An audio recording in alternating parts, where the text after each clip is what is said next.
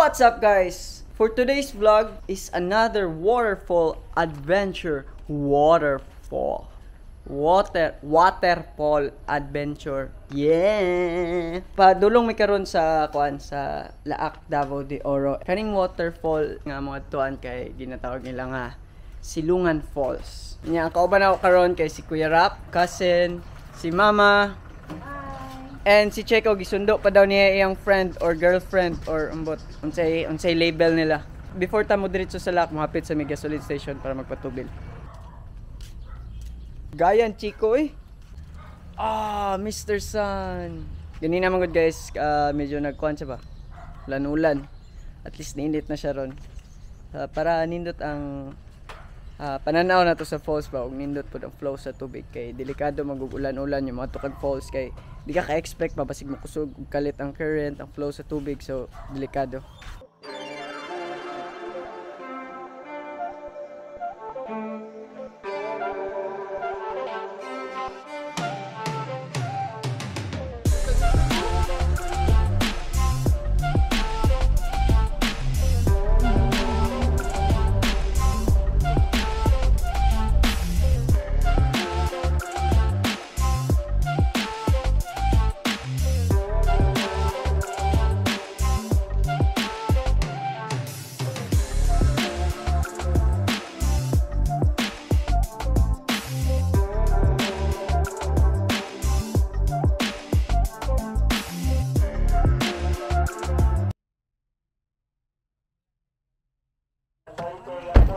So doon namin sa uh, Silungan Falls guys. Mapit sa migtindahan kay magtimo-timo mo gamay before mi mo ato dito. Sa.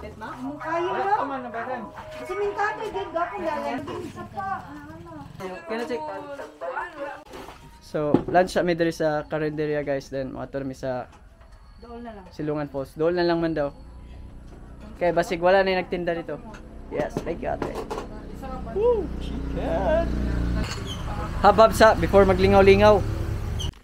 So niabot na gid mi guys, bago ra mi nahuman og lunch. Nangaon sa mi daan kay wa mi mga baon. Nas ko harap oh. Yeah.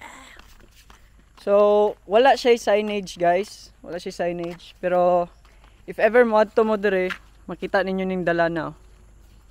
Yep. Naipababa diha. Na dito among sakyanan. Oo, mana. So, if ever mo ato mo diri guys, uh, I suggest nga sa mong kayo mo muagi. If taga nabunturan mo, ah, mas siya sa mong kayo. If kuan pud mo namo sa Davao del Norte nga area sa Tagum City. So ka, sa among giagihan mo ko dito sa Monte Vista view deck. Okay ra ang dalan dito kaso napay mga ongoing construction so if ever ka nang gaulan-ulan, ah, lapok siya. So anyway, let's start the uh, kuan na. Let's start the walk. Ma-charge akong cellphone.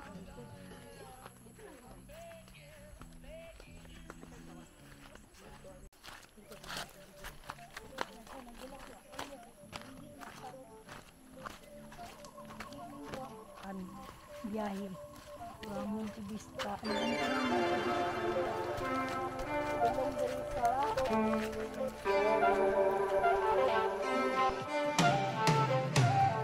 Smile po eh. Yeah.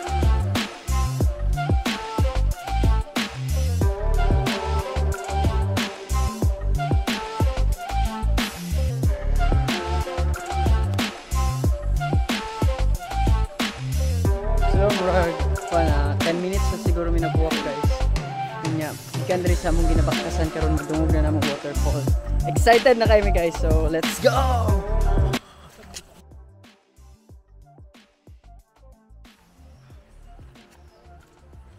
Yep.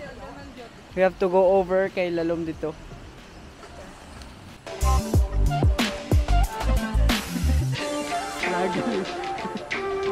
so instead of crossing guys, misa kami dito sa taas.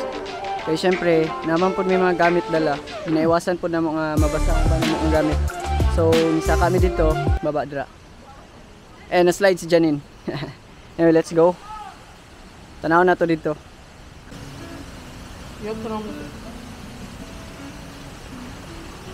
Nara ang Silungan Falls guys. Actually lubog siya ron kay tungod sa kusog sigurong ulan diri ganina.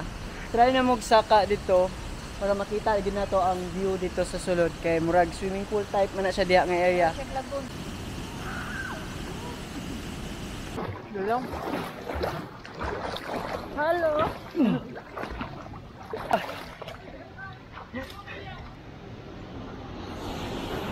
Woo! So, mao na siya ang falls, guys.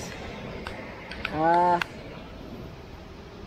actually, pwede maligo dire. Pwede maligo dire. Kay murag mo maning murag swimming pool type. So, try na maglangoy diha, guys. Oh, sige, kaya na kay nani mo. Go, go, go! Yo, ay, ambak na lang go. Ganahan ko sa place kay ang mga bato sa palibot, nice kayo, tabi. Pwede siya cliff diving sa dire. Kaso kailangan lang jud i-depth check ni dire para ma-ensure ang safety if ever sa mga ganahan og- sa mga ganahan og cliff diving spot ah cliff diving dira guys ah, siguro isa ni sa mga spot nga pwede nyo atuan sa mga waterball lovers diha o sa mga cliff diver. Camera. Ambak. Okay.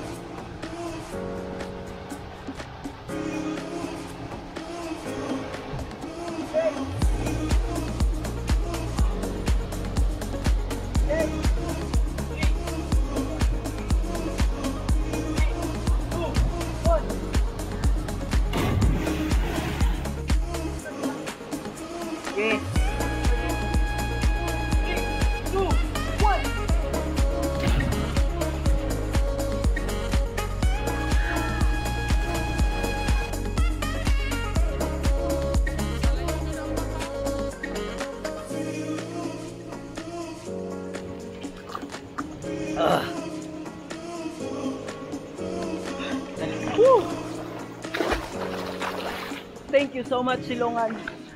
Thank you so much. Woo.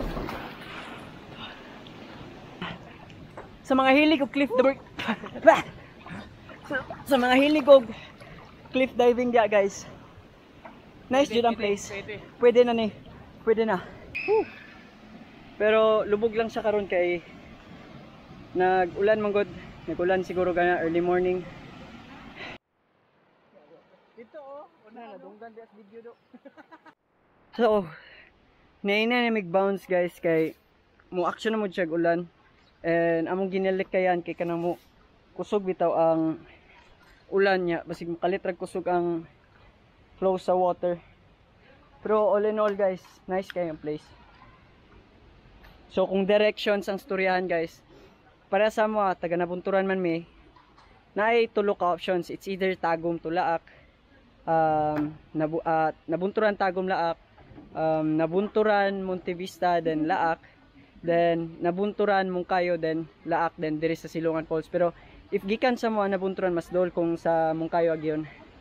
Anyway, bounce na ni mama. Balik ka dito dito. So before me mo bounce guys, ah magumul-humul sa medre kadali. Kay kaulanon man god. So if nindot ang weather nang init bitaw siguro magstay mig dugay pero ang gilikaya na mo kada kusog bitaw ang ulan. So magstay lang medre siguro mga 10 minutes then bounce me. So that's it for today guys. I hope nga nagustuhan ninyo akong adventure karong adlaw. And for next week guys, abangin ninyo kay nana po tayo bagong Uy.